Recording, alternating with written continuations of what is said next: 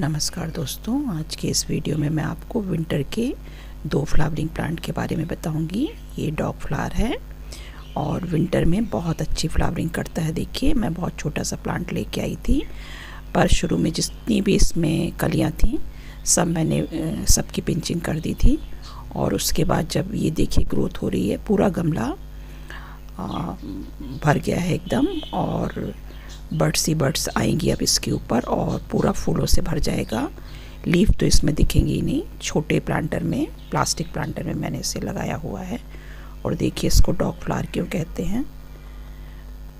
और इसका जब जो सीड पॉट भी होता है, बहुत स्कल की तरह होता है वो एकदम।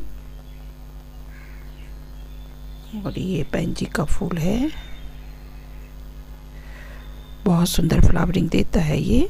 फेबररी मार्च तक इसमें फ्लावरिंग होती है।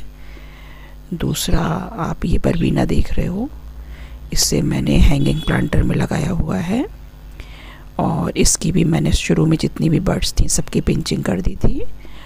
और उसके बाद देखिए, केवल सिंगल प्लांट है और पूरा गमला इस ये भर गया है। अब जब इसमें फ्लावरिंग स्टार्ट हो गई है और कुछ ही दिनों में ये फूल से एकदम भर जाएगा। और इसे मैंने ऑर्गेनिक, इन सारे विंटर फ्लावरिंग प्लांट में मैं लिक्विड मस्टर्ड केक फर्टिलाइज़र डालती रहती हूँ पंद्रह बीस दिन के अंतराल में। और वाटर का ख़ास ध्यान रखती हूँ, ओवर वाटरिंग बिल्कुल नहीं होने देती हूँ, नहीं तो पौधा आपका ख़राब हो जाता है।